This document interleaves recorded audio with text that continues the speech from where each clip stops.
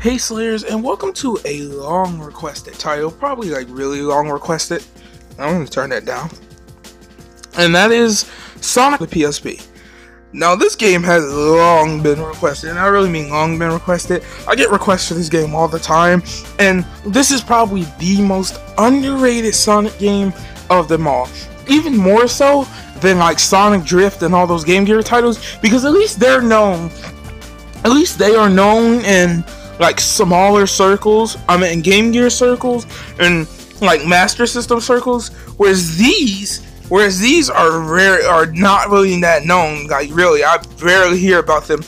It was only in, up until like a couple years ago, maybe 2016. In fact, in fact, which might seem like a long time ago now, but it was in recent memory.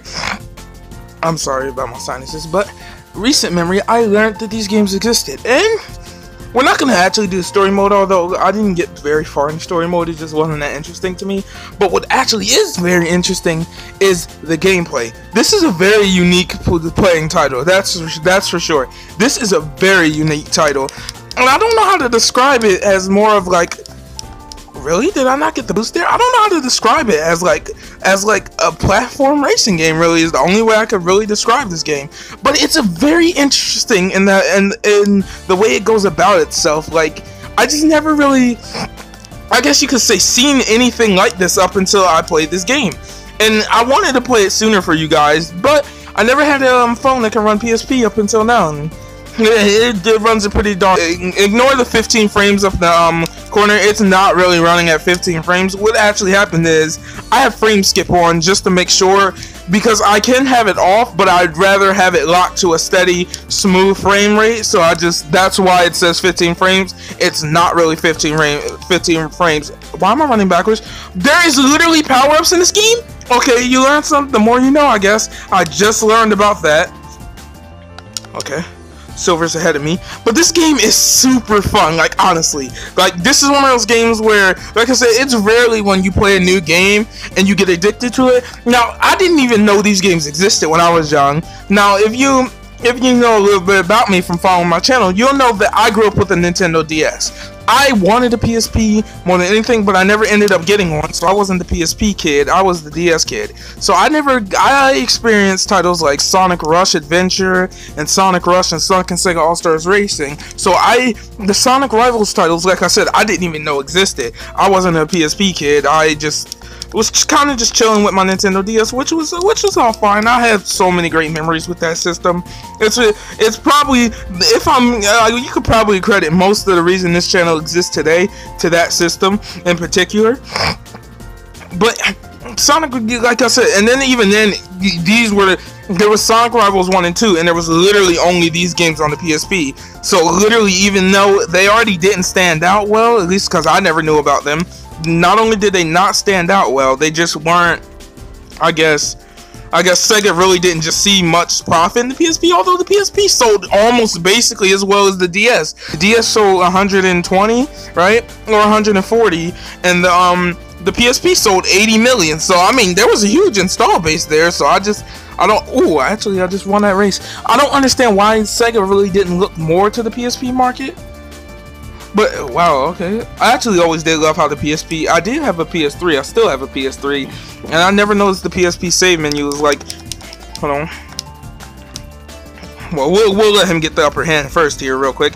But yeah, like I said, the PSP was always that one console I always wanted because the DS was essentially a PS1, but the PSP was literally a PS2 on the go. And who wouldn't want that? I mean, we're on the PS3 era now. If I could get PS2 graphics and gameplay on the go, like the DS games were always so much more simpler than the PSP. The PSP had God of War, Grand Theft Auto, but I mean, like I said, it was lacking in more of the the Sega the Sega department. So I really wasn't too interested in like PSP for Sega. I wanted PSP for more other reasons, just because that seemed like the cooler system to have, and just all the new beautiful 3D games. But I have to say, these graphics are awesome, and yeah, and they're and they're they're so like this is unimaginable. This would have been unimaginable on the DS back in the day. So I understand why it didn't get like a DS port, but maybe I could have seen like a 2D version being made for the DS. Like, but I guess this was supposed to be exclusive to PSP, but PSP as a whole just really uh, yeah, sometimes things like that can happen when you get stuck in a loop and all that, and you and the CPU get stuck in a loop. But I mean, like I said, this is a fun game. It is actually fun. You're not on rails. It, it's pretty. It can be pretty challenging. Wow, he kind of cheated there. It also has multiplayer.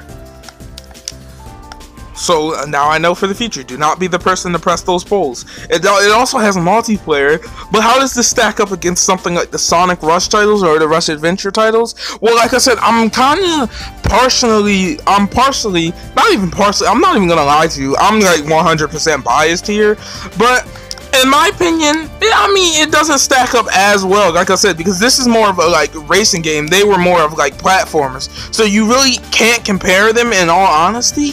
But at the same time, I mean, this game definitely would win in graphics, so that's pretty unfair to the DS. But the DS had more titles, so that's unfair to the PSP. So it's just like I, I, can't each be their own. I guess we can't really compare them.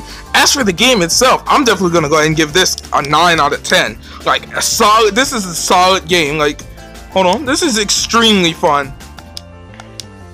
You have these power-ups, right? That I don't know how to use, and I still don't know how to use them. I guess you. Oh, okay. I guess it's double Y to use your power-ups. I'm actually, I'm actually winning here.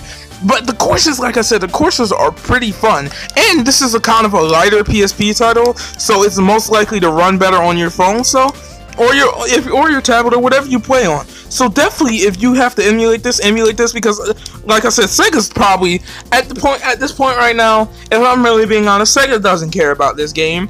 They don't. They never really re-released it on anything else. Even if Switch I think this game would fare and would nice for a Switch release. You know what I'm saying? I actually really like this stage right here. It's based on like it reminds me a lot of like Casino Night and um Casino Night and uh what is it called?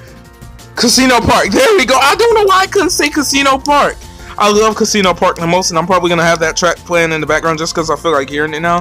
But yeah, this does follow the same rules. If you get hit without rings, like I just did there, you're gonna get sent back to the checkpoint, and I'm probably gonna lose this race. So, congratulations, Marvin. I mean, sorry for the little, sorry for the little cut cut in the video there. You could probably see that. But yeah like i said this game is really this game is really like fun. It is really awesome. Like just honestly it, 9 out of 10 perfectly. I really like this stage but you can get like um you really get destroyed in this game like in all honesty.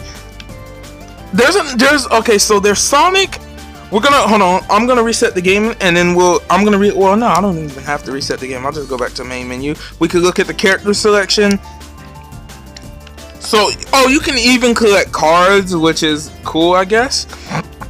There in the options, you know, you have summary skins. Skins. What are skins?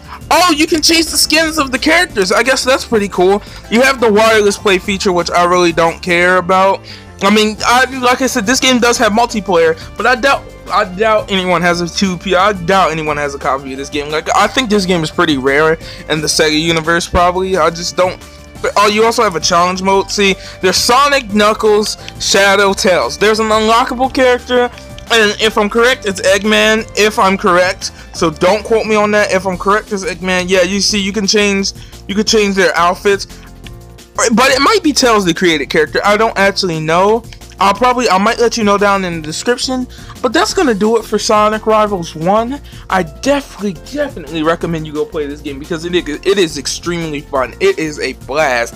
It is a standout P. Uh, it like I said, it's a hidden gem on the PSP, and not enough people know about it. So if you're if you've never if this is your first time hearing of it, if you have a okay phone. If you have an okay phone, this like I said, this is a pretty easy PSP title to run. I definitely recommend you go check it out. But that's gonna do it for this video. I've been the world's coolest Sega enthusiast, Sega Slayer 64. And if you're new here, if you could subscribe, that would be really awesome. It would really make my day. Trying to still hit 200 subscribers. And until next time, have a good one, Slayers.